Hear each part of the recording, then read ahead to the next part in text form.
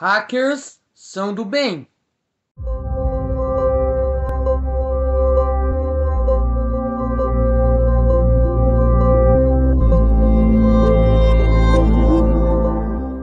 E você está no T-Rei Tutoriais.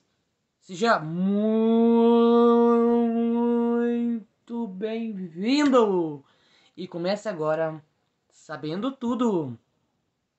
Isso aí, galera. Se você já gostou da ideia, já deixa o seu like, se inscreve no canal e fortalece aí. O vídeo não vai continuar enquanto você não deixar o seu joinha. Não deixou ainda? Vamos, vamos, tô te esperando. Agora, não, já, pronto, pronto, beleza. Gente, quem tá assistindo esse vídeo vai entender o porquê que hacker é do bem.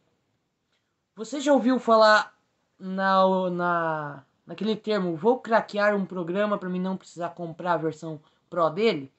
Ou seja, vou craquear um programa para mim não precisar pagar? Ou seja, você está burlando um programa, burlando uma lei, burlando uma regra. Então você está craqueando.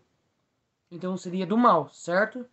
E por que que hacker vocês as pessoas acham que é do bem e cracker é do mal? Quer dizer, aos contrários, por que, as pessoas acham que hacker é do mal e cracker é do bem? É o, é o inverso.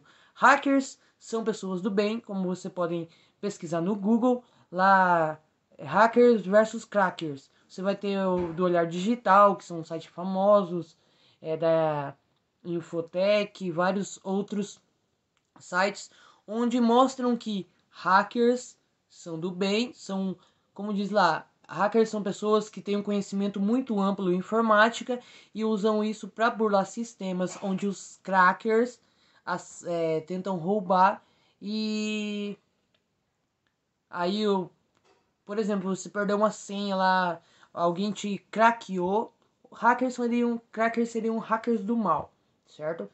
Ah, uma pessoa hackeou seu Facebook, hackeou seu seu Instagram, no caso seria craqueou, como agora a gente você já sabe, é craqueou seu Instagram, craqueou seu Facebook e você quer ter ele de volta. Aí você chama um hacker, que vai ser quem hackeia o sistema para ter de volta a sua senha. Basicamente é isso, é muito simples.